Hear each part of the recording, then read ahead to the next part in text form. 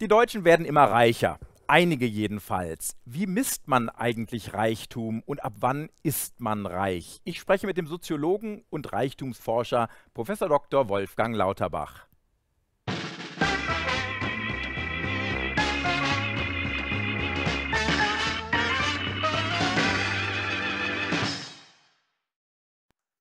Ich lande also am Flughafen in Frankfurt und finde das hier. Euer Reichtum auf unsere Kosten. Euer Reichtum auf unsere Ist das nicht ein bisschen unfair? Ja, natürlich ist es unfair, aber das ist über das Thema Reichtum wird in diesem Lande sowieso sehr unfair diskutiert. Also Reiche sind eine Gruppe, über die man wenig weiß aber Reiche sind eine Minderheit in dieser Gruppe, über die man nicht, nichts weiß. Und das ist eine komische Geschichte. Man weiß über Minderheiten in diesem Land immer extrem viel, aber über Reiche weiß man gar nichts. Und das ist der Punkt, warum ich mich auch damit beschäftigt habe. Und das ist auch der Punkt sozusagen, man hat über diese oberen 1,2, 1,8 Prozent oder man kann auch sagen über die Milliardäre, das haben wir jetzt nach dem letzten äh, Capgemini-Bericht, haben wir 180, 200 Milliardäre, die darüber sind. Dann haben wir 1500 bis 1800 äh, Millionäre, die über 10 Millionen haben. So, aber da, das sind Begriffe, äh, die eigentlich jedem normalen Menschen, der auf der Straße läuft, sozusagen zum Nachdenken anregen müssen. Wer ist eigentlich reich? Wie misst man das? Also Günter Jauch produziert auch äh, ab und zu mal einen Reichen mit einer Million. Aber ich meine, jetzt lebe ich schon lange in Amerika, ja. fast 30 Jahre. Und man sieht das im Übrigen auch im Fernsehen, dass Reichtum bei uns ganz anders betrachtet wird. Bei uns kommt in den USA kommt Reichtum mit etwas Faszinierendes. Da liegt eine gewisse Bewunderung drin. Und auch wenn der American Dream schon längst nicht mehr das ist, was er einmal war, dieser Gedanke, man könnte die Opportunität haben, dahin zu kommen. Also Reichtum wird anders betrachtet. Warum hat man das Gefühl, dass in Deutschland Reichtum schon fast als etwas Unanständiges gesehen wird? Ach, wenn man, wenn man in die Geschichte zurückgeht, dann, dann sieht man, fangen wir mal mit dem Zweiten Weltkrieg an. Nach dem Zweiten Weltkrieg in der Geschichte des, danach ist sozusagen, spielte das Thema große Ungleichheit, Reichtum und Mittelschicht, Mittelstand überhaupt keine Rolle. Da war man eher das Gegenteil, man war ja stolz und Sie kennen alle die Geschichten ähm, der Fuhrunternehmer, der mit einem Pferdewagen anfing und heute ähm, 800 LKWs zu laufen hat und Millionär oder Milliardär ge ge geworden ist. Auch viel Risiko eingesetzt hat natürlich. Und viel ne? Risiko. Das ist allen bekannt, das ist Herr Kühne bis hin zu den lokalen Unternehmern hier in Frankfurt, die vielleicht nur 350 äh, um LKWs haben und 700 Angestellte. Das ging bis in die 90er Jahre, da war das Thema nicht existent. In den 90er Jahren kamen die ersten äh, Berichte von Banken auf, die sich damit beschäftigten, was macht eigentlich der Unternehmer mit seinem Betrieb? Kann er ihn vererben? Gibt es einen Erbe? Gibt es eine Erbin? Wen auch immer. Wer ist das denn in dieser Familie? Und dann tauchten die ersten Schätzungen auf. Das war das erste Mal, dass das quasi in die Öffentlichkeit rückte. Da war das das, das, das erste Mal und äh, die ersten Schätzungen gingen dann auch los. Ja, in den nächsten zehn Jahren wird man 13 Milliarden Euro äh, ähm, transferieren die nächste Generation. Das war das große Thema. So, dann kam sozusagen die Bankenkrise, dann ging das weiter mit der ganzen New Economy und dann tauchte auf einmal eine neue Gruppe von, von Menschen auf, die man in der Öffentlichkeit wahrnahm. Das waren vor allen Dingen Manager. Die rückten in die Öffentlichkeit. Der Unternehmer rückte nach hinten in die zweite Reihe. Und das wurde dann konnotiert mit einem exorbitanten Ungleichheitsaspekt. Und warum? Weil natürlich der Manager nicht mehr das vier- oder fünffache des Durchschnittseinkommens eines Perso einer Person verdiente, die in dem Betrieb tätig war, sondern das stieg dann auf das sechsfache, auf das zwölffache, ja bis hin zu dem sechzigfachen. Und dann tauchte ein, eine Frage auf, wie lässt sich denn das Ganze legitimieren, diese Differenz zwischen CEO und dem normalen Mitarbeiter in der in dem Betrieb. So, und hier tauchte dann auf einmal so ein negativer Aspekt auf. Aber ist es, ist es nicht ein Stück weit absurd? Sie sprechen äh, Kühne und Nagel an. Hier haben wir es mit einem Unternehmer zu tun. Äh, und viele Unternehmerfamilien sind ja wirklich reich und wohlhabend geworden, bis hin im Prinzip durch das Wirtschaftswunder hinweg in 50er, 60er Jahre. Aber Unternehmertum bedeutet Risiko eingehen, Verantwortung eingehen. Und im Übrigen haben ja die Unternehmer, gerade der deutsche Mittelstand, ist ja maßgeblich dafür auch verantwortlich gewesen, dass wir in Deutschland noch sehr gut auch durch die Finanzkrise durchgesegelt sind. ist die Art und Weise, wie wir mit Unternehmern umgehen, nicht unfair? Also wir sind hier in Frankfurt und man sitzt hier mit jemandem am Tisch, der an der Börse arbeitet. Das ist eine ganz andere Blick. Ja, aber ich bin armer Journalist, mein ja, Gott. Ja, okay. Das ist, aber man sitzt hier in einem Gremium unter Personen, die diesem Gedanken des Unternehmertums sehr offen gegenüberstehen. Gehen wir mal in die, in die Zeit zurück und fragen uns mal, naja, äh, der erste Armuts- und Reichtumsbericht hatte von der Bundesregierung aus 300 Seiten. 270 Seiten gegenüber Armut und 30 Seiten über Reichtum.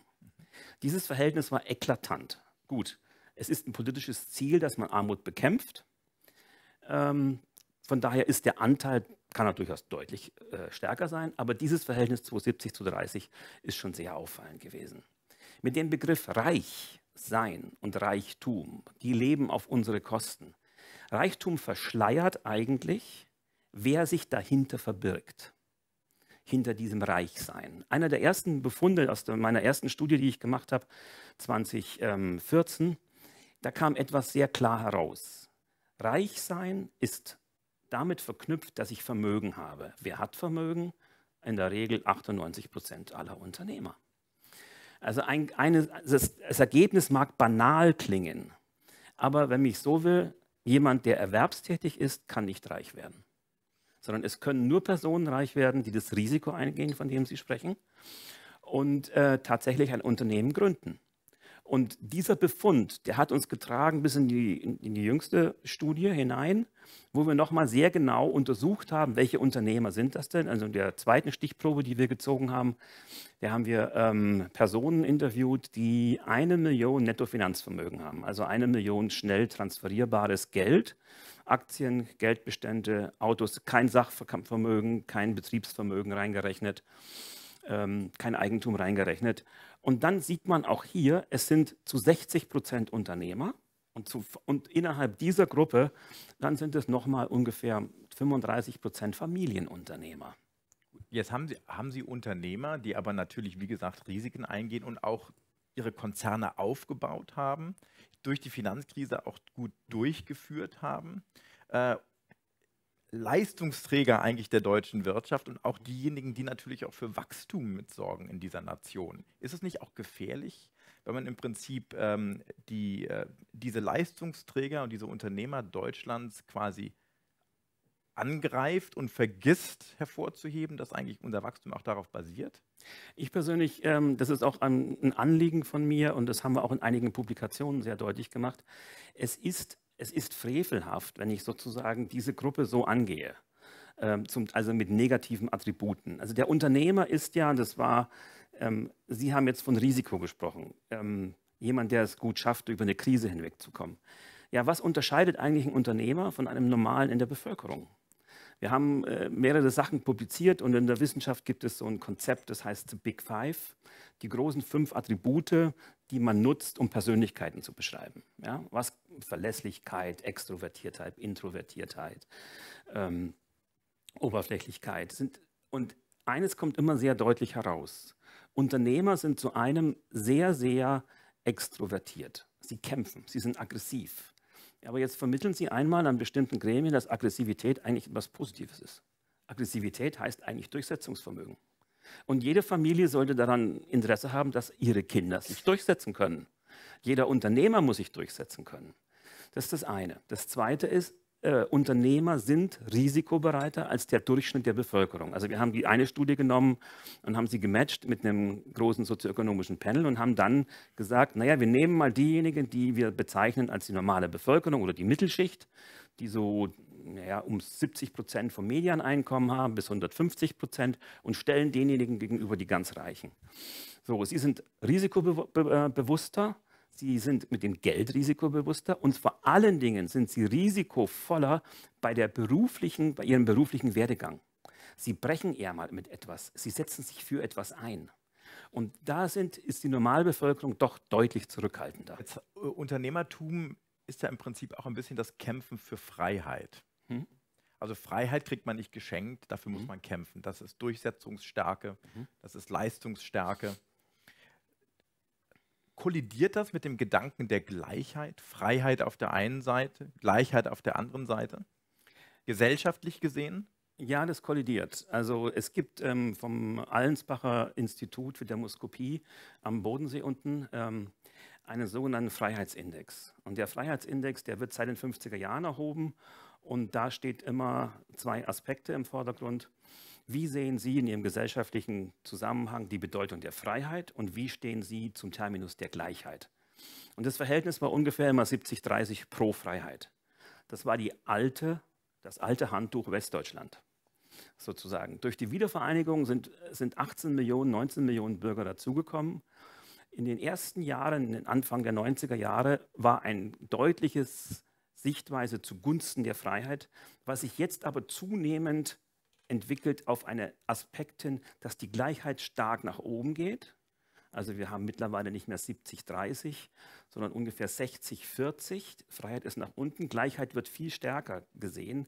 Und die Menschen schätzen die Gleichheit mehr als die Freiheit und damit auch verbunden eine stärkere Einkommensvarianz, eben damit auch das Zustandekommen von Reichtum, von Vermögen. Aber was bedeutet das für eine Wirtschaft wie Deutschland, wenn der Freiheitsgedanke nachlässt, also dieses, ich will groß hinauskommen, ich will viel erreichen, ich will viel Geld verdienen, sagen wir es mal so, und auf der anderen Seite und dafür auch was leisten und auf der anderen Seite nimmt der, äh, nimmt der Wunsch nach Gleichheit zu. Bedeutet das in der Konsequenz nicht, dass wenn Aggressivität und Unternehmertum nachlässt, dass das Wirtschaftswachstum in einer angstgeprägten Konjunktur, einer Konjunktur der Gleichheit, dass dadurch das Wachstum auch in Deutschland und die Innovationskraft von Deutschland ausgebremst wird? Ich würde dem, ich würde dem zustimmen. Deutschland ist ja das Land, was ähm, international gesehen immer verbunden wird mit dem Begriff German Angst. Ähm, das nicht übersetzt, einer der wenigen Wörter. Ne? Nein, genauso wie Kindergarten nicht. Ja? Äh, the German Angst ist etwas, was allgegenwärtig ist und was uns sehr, sehr viel, äh, was häufig Familien prägt, was häufig ältere Personen prägt. Und dieser Angstgedanke ist gekoppelt mit einem extremen Sicherheitsgedanken. Wir sind die Weltmeister im Versichern. Ja, die Münchner Rück, die Allianz sitzen alle in Deutschland, die größten Versicherungsunternehmen. Gut in Forschung. Ja, aber ähm, man kann jetzt nicht unbedingt sagen, dass sich das jetzt auswirken wird, dass das Wirtschaftswachstum äh, sinkt. Aber wir müssen schon an, an zwei Stellschrauben müssen wir ganz klassisch arbeiten. Einmal in der Schule muss man den Kindern ganz stark Unternehmertum beibringen. Also das, was die Amerikaner zum Beispiel machen. Kinder müssen, während sie in der Schule sind, in der Sekundarstufe 1, müssen sie Unternehmungen unternehmen. Also du bekommst einen Dollar und es wird derjenige prämiert, der am Nachmittag oder zwei Tage später mit dem größten Geld zurückkommt. Du kannst jetzt zwei Dollar draus machen, du kannst einen Dollar verlieren, du kannst auch 100 draus machen. Also solche Wettbewerbsgedanken, die sind relativ klug, sie an dieser Stelle quasi anzusetzen. Und was man auch braucht, ähm, man weiß, ähm, dass man an Universitäten relativ viel Wissen hat. Was wir nicht hinbekommen, ist, das umzusetzen an manchen Stellen in unternehmerisches Handeln.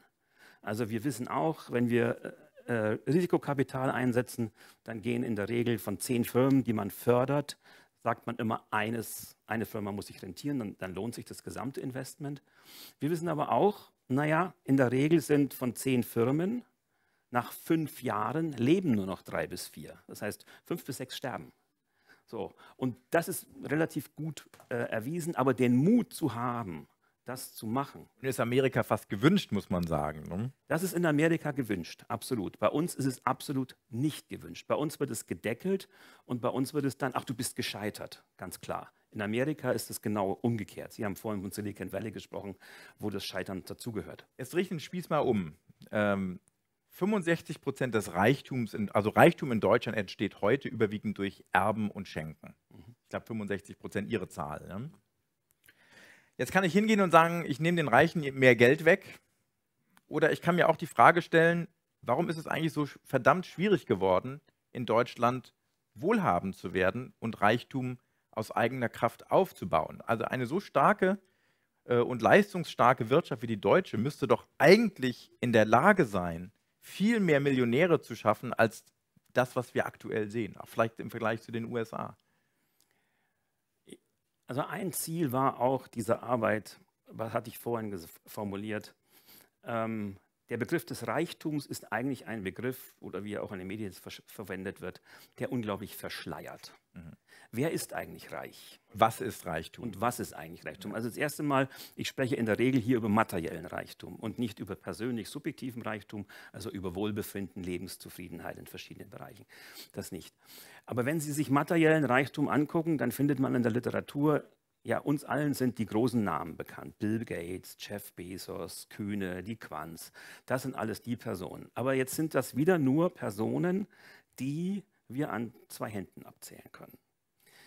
Äh, wir sollten, glaube ich, sehr, sehr wohl damit umgehen, dass Reichtum unglaublich verbunden ist mit Vermögen und Reichtum kann nicht aufgebaut werden auf Einkommen. Mhm. Also wenn Sie Berichte lesen oder Schriftzüge lesen, dann früher sagte man, basierend auf der Einkommens- und Verbrauchsstichprobe, naja, wer das Doppelte des Durchschnittseinkommens hat.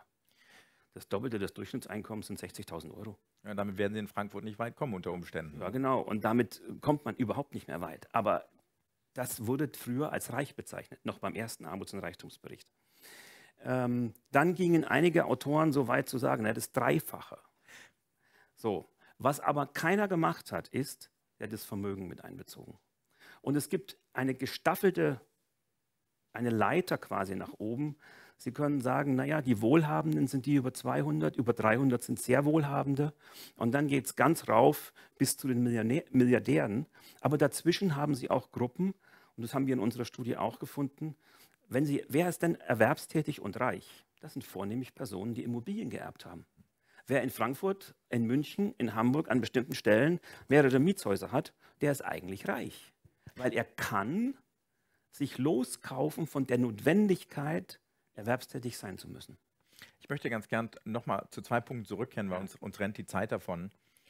Ähm, das Vermögen von Jeff Bezos, das Vermögen von Mark Zuckerberg, ist weit nach Ende des Wirtschaftswunders entstanden.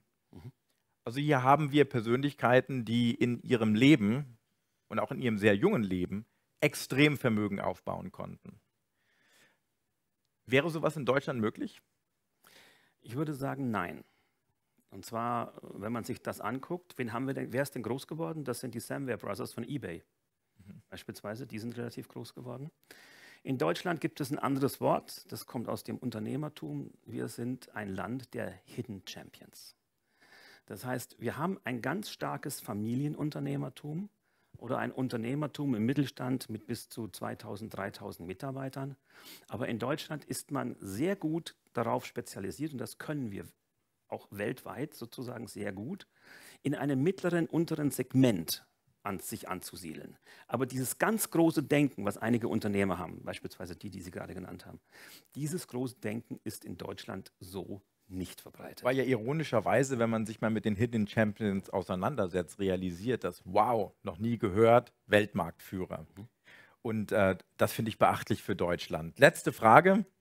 Vermögenssteuer. Wenn 65 Prozent vererbt wird von Vermögen, ist das sinnvoll und wenn, zu welchem Ausmaß? Wenn man in unserer Untersuchung hatten wir viele Unternehmer äh, dabei, wenn man sie fragt, sind die Steuern in Ordnung, die Vermögenssteuer so wie sie ist oder könnten wir sie einführen, erhöhen? Ähm, ja, es ist okay, ein bisschen mehr wäre auch okay. Also das ist, es geht ja immer um das Privatvermögen. Es geht ja nicht um das Betriebsvermögen, äh, das Anlagevermögen. Und bei dem Privatvermögen gibt es dann natürlich immer das Problem der Schätzung. Was ist das Gemälde? Was ist das gerade jetzt wert? Aber insgesamt ähm, gibt es ja auch eine starke Bewegung von einigen, die sagen, ich bin reich geworden, ich kann eine höhere Steuer bezahlen. Ich mag den Begriff nicht, ich, muss, ich gebe was zurück an die Gesellschaft, weil diese Personen haben extrem für die Gesellschaft was geschafft. Sie haben Arbeitsplätze zur Verfügung gestellt. Und warum soll man was zurückgeben? Das wird immer mit dem alten biblischen Zitat verbunden. Er kommt ein Reicher, er geht ein, kommt ein Kamel durch das Nadelöhr als ein Reicher in den Himmel. Man ist immer eher so sehr, sehr bescheiden bei uns in Deutschland aber zurückgeben muss von diesen Reichen. Würde denn, würde denn durch eine solche Steuer tatsächlich die Ungleichheit reduziert werden? Nein, die Ungleichheit würde damit kein bisschen reduziert werden. Das ist ein politisches, symbolhaftes Handeln einiger Vertreter bestimmter Parteien.